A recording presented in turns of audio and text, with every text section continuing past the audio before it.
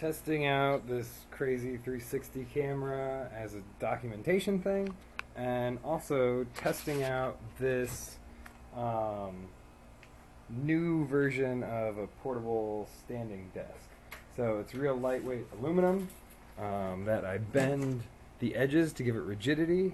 I used to have this uh, wood kind of stuff here going on, um, but it's much thicker and heavier than the aluminum, and I bend it so yeah, it gets nice and stiff.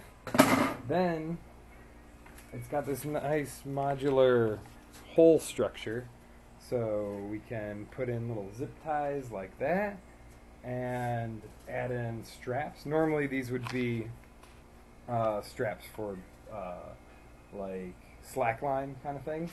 And what's kind of nice about this is, well, for I can, uh, these can move a lot easier because of the way that they're kind of held underneath there and they kind of lock on that edge.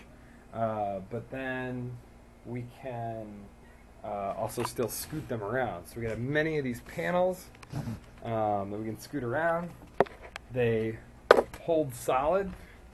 You can tension it if you have the actual slackline things going on and do all of your stuff.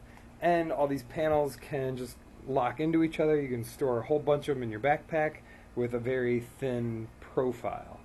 Um, so then, for a nice portable desk anywhere, you could just have uh, some these aluminum panels and a slackline strap, some of this nylon webbing, and you're set.